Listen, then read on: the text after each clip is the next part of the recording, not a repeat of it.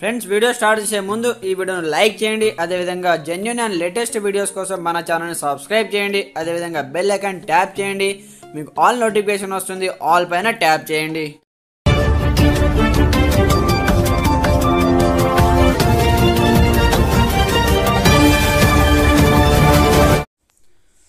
Hi friends welcome back to Telugu job updates YouTube channel. So friends మనకు ఈరోజు వచ్చినటువంటి కొన్ని ముఖ్యమైన ఇంపార్టెంట్ అప్డేట్స్ గురించి కంప్లీట్గా వీడియోలో తెలుసుకుందాం. ప్రతి ఒక్కరు సపోర్ట్ చేయండి లైక్ చేయండి అలాగే కొత్తగా చూసిన వాళ్ళు కూడా ఛానల్ని సబ్స్క్రైబ్ చేసుకోండి. మరి ఇంకెందుకు ఆలస్యం? Let start our topic. So friends మనకు కేంద్ర ప్రభుత్వ ఉద్యోగాలు పది లక్షలు ఖాళీ అంటూ లేటెస్ట్ గైడ్లైన్ చూసుకోవచ్చు. పార్లమెంటు సాక్షిగా అంగీకరించిన కేంద్ర మంత్రి అంటూ కూడా చూసుకోవచ్చు. అయితే మనకు కేంద్ర ప్రభుత్వ ఉద్యోగాల్లో విభాగాల్లో రెండు వేల ఇరవై ఒకటి మార్చి ఒకటి నాటికి తొమ్మిది లక్షల డెబ్బై తొమ్మిది వేల ఉద్యోగ ఖాళీలు ఉన్నాయని కేంద్ర సిబ్బంది వ్యవహారాల శాఖ మంత్రి జితేంద్ర సింగ్ బుధవారం పార్లమెంట్లో తెలిపారు. ఈ మేరకు జితేంద్ర సింగ్ లోక్సభలో ఓ ప్రశ్నకు రాతపూర్వక సమాధానం కూడా ఇవ్వడం జరిగింది. కేంద్ర విభాగాల్లో మొత్తం మంజూరు పోస్టుల సంఖ్య నలభై పాయింట్ ముప్పై ఐదు లక్షలు అలాగే కాగా వాటిలో తొమ్మిది లక్షల డెబ్బై తొమ్మిది వేల ఖాళీలు ఉన్నాయంటే నాలుగింట ఒక పోస్టు భర్తీకి నోచుకోలేనట్టు చూసుకోవచ్చు. పోస్టుల కల్పన భర్తీ ప్రక్రియ అనేది సంబంధిత మంత్రిత్వ శాఖ బాధ్యత అని ఇది నిరంతర ప్రక్రియని మంత్రి అని చెప్పారు. పదవి విరమణలు ప్రమోషన్లు రాజీనామాలు మరణాలు తదితర కారణాల వలన కేంద్ర ప్రభుత్వ పలు విభాగాల్లో ఉద్యోగ ఖాళీలు ఏర్పడ్డాయని చెప్పుకొచ్చారంటూ కూడా ఇక్కడ అప్డేట్ అయితే చూసుకోవచ్చు అనమాట అలాగే వాటికి సంబంధించి మనకు సో ఏ కేటగిరీకి సంబంధించి ఎన్నెన్ని ఖాళీలు ఉన్నాయో వాటికి సంబంధించిన లిస్ట్ అది ఇక్కడ ఇవ్వడం జరిగింది.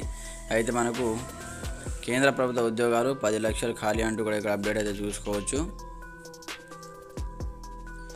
అయితే మనకు ఎంతో కీలకమైన సెంట్రల్ యూనివర్సిటీలో అధ్యాపకుల కొరత వేధిస్తున్నది. నలభై మూడు సెంట్రల్ యూనివర్సిటీలో ఆరు వేల ఐదు వందల నలభై తొమ్మిది ఫ్యాకల్టీ పోస్టులు ఖాళీగా ఉన్నాయని కేంద్ర విద్యాశాఖ మంత్రిత్వ శాఖని తాజాగా లోక్సభలో పేర్కొంది. వీటిలో ఎస్సీ కోట కింద తొమ్మిది వందల ఎనభై ఎనిమిది ఎస్టీ కింద ఐదు వందల డెబ్బై ఆరు ఓబీసీ పదిహేడు వందల అరవై ఒకటి ఉన్నాయి. ఢిల్లీ యూనివర్సిటీలో అత్యధికంగా దాదాపు తొమ్మిది వందల అధ్యాపకుల పోస్టులు ఖాళీగా ఉన్నాయి.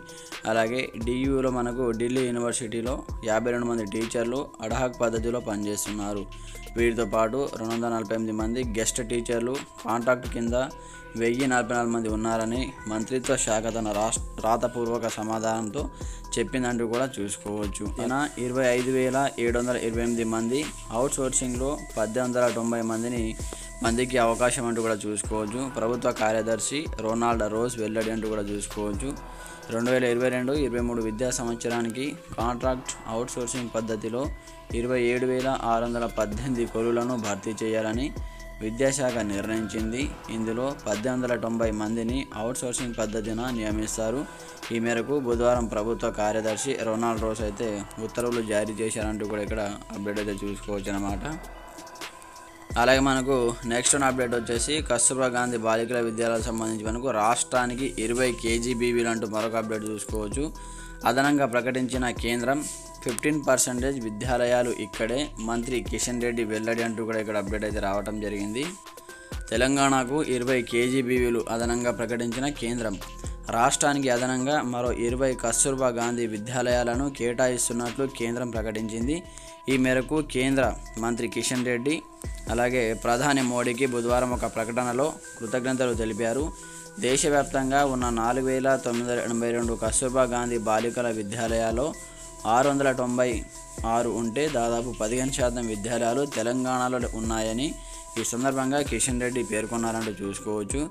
వీటికి అదనంగా రెండు వేల ఇరవై రెండు ఇరవై మూడు విద్యా సంవత్సరంలో మరో ఇరవై కేజీబీవీలను కేటాయించడం హర్షణీయం అని చెప్పడం జరిగిందంటూ కూడా ఇక్కడైతే అప్డేట్స్ అయితే చూసుకోవచ్చు అనమాట అలాగే మనకు ఎస్ఐ ప్రిలిమ్స్ పరీక్షను వాయిదా వేయండి అంటూ ఇక్కడ BSP state chief RC RSP అంటే ఆర్ఎస్పి మనకైతే ఇక్కడ కంప్లీట్గా చెప్పడం జరిగింది. ఎస్ఐ ఎస్ఐ ప్రిలిమ్స్ పరీక్షను వాయిదా వేయండి అంటూ.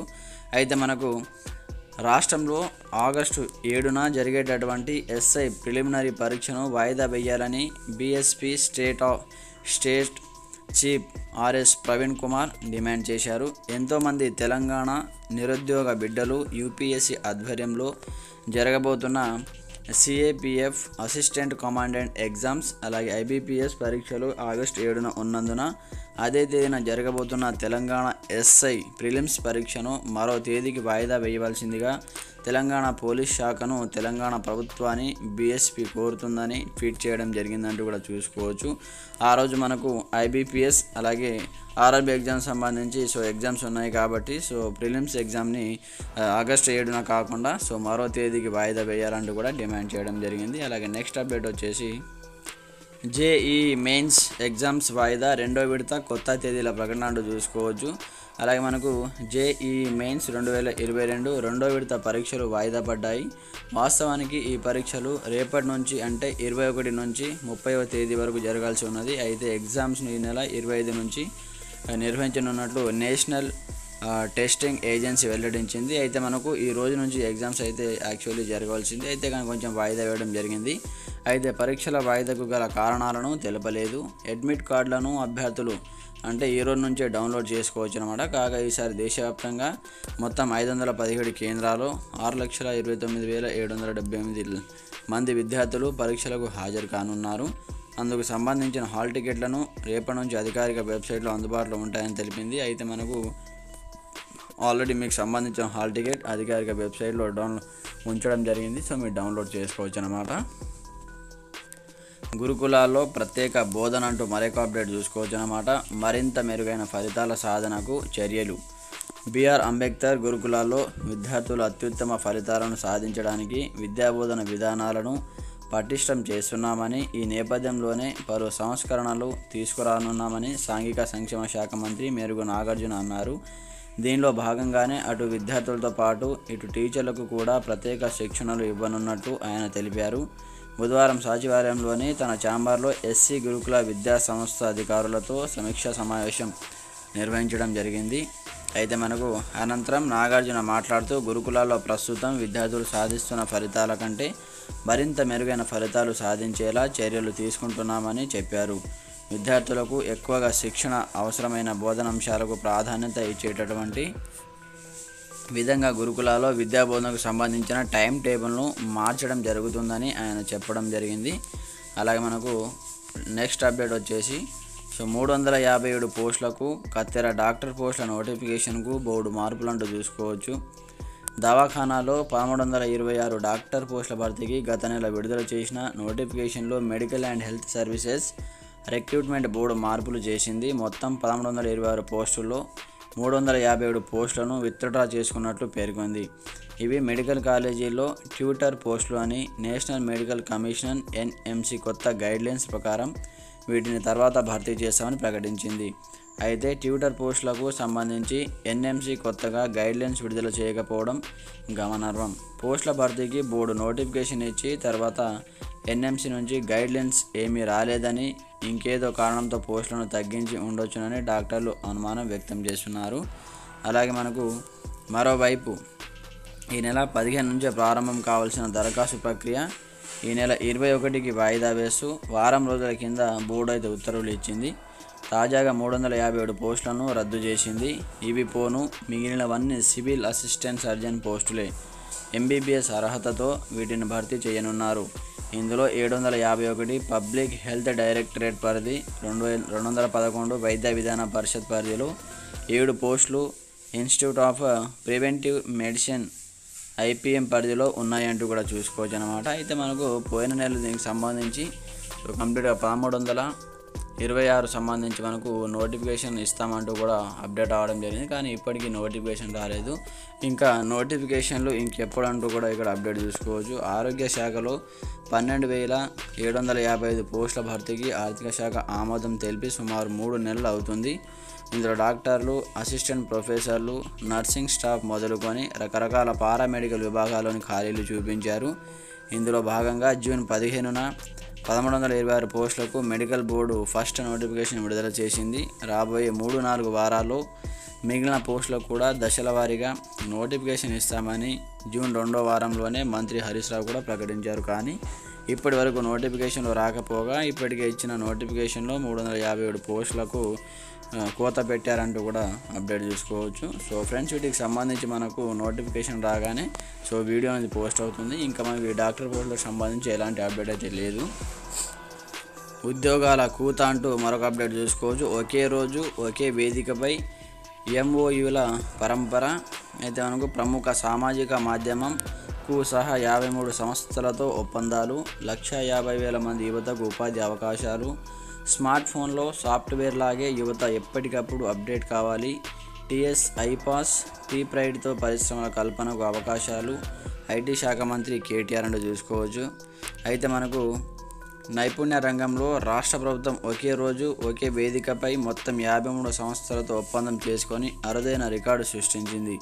ఈ మేరకు బుధవారం రాష్ట్ర ఐటీ పరిశ్రమల శాఖ మంత్రి కేటీఆర్ సమక్షంలో Rayadurgam T hub two point జీరోలో రాష్ట్ర ప్రభుత్వం Telangana academy for skills knowledge TASK corporate ఒప్పంద సంస్థ సంబంధించి కార్యక్రమం అయితే జరిగింది. ఈ ఒప్పందాల ద్వారా రాష్ట్రానికి చెందిన లక్ష యాభై వేల మంది యువతకు ఉపాధి అవకాశాలు లభించనున్నట్టు రాష్ట్ర పరిశ్రమల శాఖ వెల్లడించింది. ఈ సందర్భంగా మంత్రి కేటీఆర్ మాట్లాడుతూ వివిధ రంగాలకు చెందిన కంపెనీలతో టాస్క్ ట్వంటీ సిక్స్ కొత్త ఒప్పందాలు చేసుకోవడం సంతోషంగా ఉందని చెప్పారు. ఇప్పటికే టాస్క్తో ఒప్పందం చేసుకున్న ఇరవై ఏడు కంపెనీలు మళ్ళీ ఒప్పందాలను పునరుద్ధరించుకోవడం జరిగిందన్నారు. వీటిలో ప్రముఖ బహుళ భాష సామాజిక మాధ్యమం కూ ఇండియా కూడా ఉంది. ఇందులో భాగంగానే హైదరాబాద్లో డెవలప్మెంట్ సెంటర్ ఏర్పాటుకు కూ ముందుకొచ్చిందంటూ కూడా చూసుకోవచ్చు అనమాట సో అలాగే మనకు నెక్స్ట్ అప్డేట్ వచ్చేసి ముప్పై ముప్పై ఒకటవ తేదీన ఎంసెట్ అగ్రికల్చర్ ఎగ్జామ్ అంటూ మరొక అప్డేట్ చూసుకోవచ్చు. ఆగస్ట్ ఒకటిన టీఎస్ టీఎస్ ఈసెట్ రెండు నుంచి పీజీ ఈసెట్ వాయిదా పడ్డ ఎగ్జామ్స్ రీషెడ్యూల్ రిలీజ్. భారీ వర్షాలతో వాయిదా పడ్డ TS EAMCET agriculture exams TS ECET PG ECET తేదీలను వెల్లడించింది. ముప్పై ముప్పై ఒకటవ తేదీలో ఎంసెట్ అగ్రికల్చర్ ఎగ్జామ్స్ నిర్వహిస్తామని కౌన్సిల్ చైర్మన్ ప్రొఫెసర్ లింబాద్రి తెలిపారు. ఉదయం తొమ్మిది గంటల నుంచి పన్నెండు గంటల వరకు మధ్యాహ్నం మూడు గంటల నుంచి సాయంత్రం ఆరు గంటల వరకు ఎగ్జామ్స్ నిర్వహిస్తామని చెప్పారు. టీఎస్ ఈసెట్ ఎగ్జామ్ను ఆగస్టు ఒకటిన ఒకటిన రెండు సెషన్లలో జరుపుతామని వెల్లడించారు. ఆగస్టు రెండు నుంచి పీజీ ఈసెట్ అంటూ కూడా చూసుకోవచ్చు. అయితే మనకు పీజీ ఈసెట్ తేదీల్లోనూ మార్పులు చేశారు. గతంలో ఇరవై తొమ్మిది నుంచి ఆగస్టు ఒకటి వరకు జరగవలసిన పరీక్షలను ఆగస్టు రెండు నుంచి ఐదు వరకు నిర్వహిస్తామని ప్రొఫెసర్ లింబాద్రి తెలిపారు. హాల్ టికెట్లను త్వరలోనే వెబ్సైట్లో పెడతామని పేర్కొన్నారు. రేపటి నుంచి TS LAWCET PG LCET exam సంబంధించి రాష్ట్రంలో లాసెట్ పీజీ ఎల్సెట్ ఎగ్జామ్ను ఇరవై ఒకటి ఇరవై రెండు తేదీలు నిర్వహించనున్నట్లు TS LAWCET convener GB Reddy ప్రకటనలో తెలిపారు. గురువారం రెండు సెషన్లు శుక్రవారం ఒక సెషన్ ఎగ్జామ్ జరుగుతుందని చెప్పారు. మొత్తం నలభై రెండు పరీక్ష కేంద్రాల్లో ముప్పై ఐదు వేల ఐదు వందల ముప్పై ఎనిమిది మంది పరీక్షలను అటెండ్ అవుతారని వెల్లడించడం జరిగింది. ఈఆర్టీ నుంచి పాలిసెట్ వెబ్ ఆప్షన్లు కూడా చూసుకోవచ్చు. పాలిటెక్నిక్లో కాలేజీలో అడ్మిషన్ల కోసం వెబ్ ఆప్షన్ల ప్రక్రియను బుధవారం నుంచి ప్రారంభిస్తామని technical education commissioner Naveen Mittal తెలిపారు. ఇరవై ఐదవ తేదీ వరకు వెబ్ ఆప్షన్ల ప్రక్రియ కొనసాగుతుందన్నారు. రిజిస్ట్రేషన్లు సర్టిఫికేట్ల వెరిఫికేషన్ స్లాట్ బుకింగ్ ప్రాసెస్ ఇరవై రెండు వరకు ఉంటుందని చెప్పారు. రాష్ట్ర వ్యాప్తంగా నూట పదమూడు కాలేజీల్లో ఇరవై ఆరు వేల ఎనిమిది వందల ఇరవై రెండు మంది ఎనిమిది వందల ఇరవై రెండు సీట్లు ఉన్నాయంటూ వెల్లడించారంటూ చూసుకోవచ్చు. సో ఫ్రెండ్స్ ఇవి మనకు ఈరోజు వచ్చినటువంటి కొన్ని ముఖ్యమైన ఇంపార్టెంట్ అప్డేట్స్. సో ఇంకా మీకు ఏదైనా డౌట్స్ ఉంటే కామెంట్ చేయండి ప్రతి ఒక్కరు సపోర్ట్ చేయండి అలాగే కొత్తగా చూసిన వాళ్ళు కూడా ఛానల్ని సబ్స్క్రైబ్ చేసుకోండి. Okay friends thanks for watching this video.